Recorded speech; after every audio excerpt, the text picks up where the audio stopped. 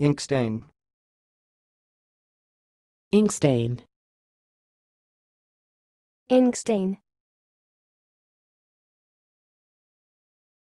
Thanks for watching. Please subscribe to our videos on YouTube.